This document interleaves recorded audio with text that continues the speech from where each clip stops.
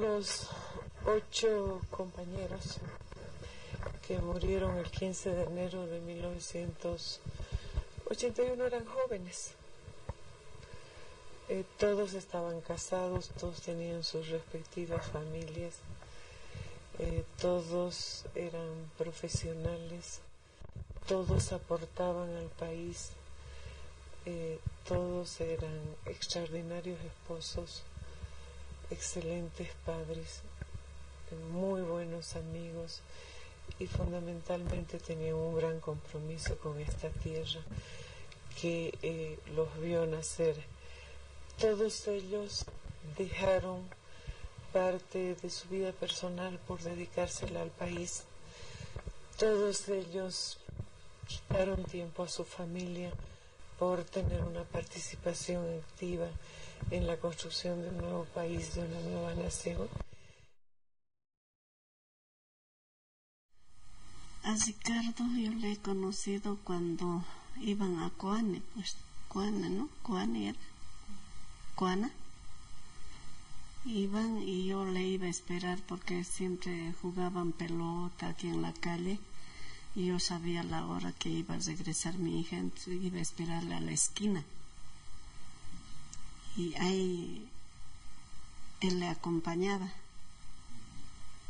Entonces, a un comienzo yo trataba de no encontrarse conmigo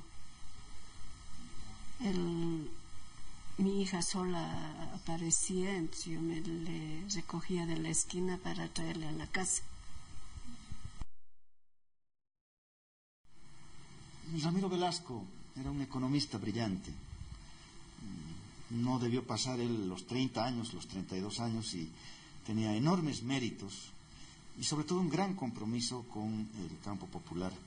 Recuerdo que él iba a las minas a dar cursos de economía política a los trabajadores en esta tarea de formación de cuadros y él fue muy importante en eh, la ampliación de la izquierda en el campo profesional.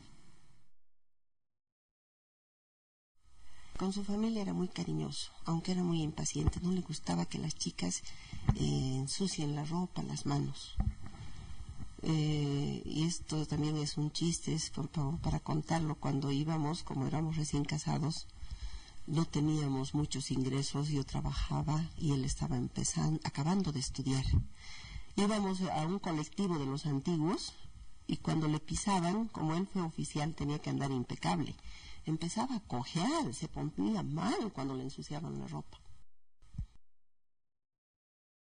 Él era una persona muy tierna, Em, tremendamente cariñoso, con un excelente padre. Y bueno, yo siempre digo que era mi compañero en, todo, ¿no? Ideológicamente, psicológicamente, se puede decir así, ¿no? Él era una persona lleno de vida. Gonzalo Bazón, un arquitecto, eh, muy joven, eh, de grandes cualidades. Yo lo conocí antes de arquitecto como dirigente universitario, era dirigente en Cochabamba, eh, hijitas muy pequeñas cuando él murió, igual de una gran inteligencia, de una relación de pareja muy estrecha con su compañera, un hombre excepcional también.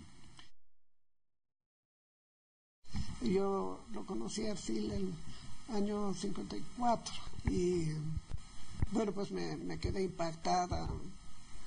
Eh, yo tenía mi enamoradito por ahí, bueno, tú sabes cómo es eso. Pero cuando lo conocí, me quedé impactada, además por la personalidad, ¿no? Y, él, eh, así les eh, ha sido cinco años mayor que yo. Entonces para mí era pues un hombre hecho y derecho, entonces wow. Yo recuerdo de mi padre, era una persona bien correcta, bien seria había que seguir, seguía. La, la gente en los Hechos Unidos la apreciaba mucho.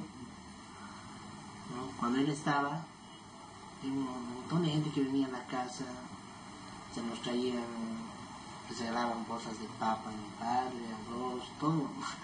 Pero mi padre nunca quería dar, ¿no? porque no podía quitarle al pueblo lo que es el pueblo.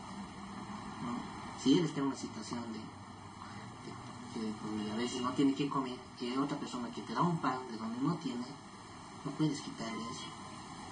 No, por mucho que te aprecie, por mucho que haga que no, si a veces, por decir, mi padre andaba con 10 bolivianos en el si alguien necesitaba, le daba. ¿Ves? Prefería él no comer o no tener o caminar de, de aquí a, no sé, unas 20 o 30 cuadras y tenía que hacerlo así. Era muy buen alumno, era abanderado en su escuela, entonces tuvo esa oportunidad.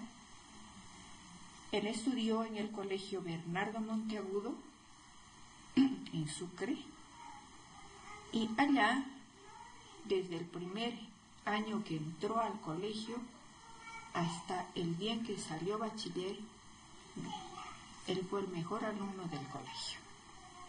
Todos los años él llevaba la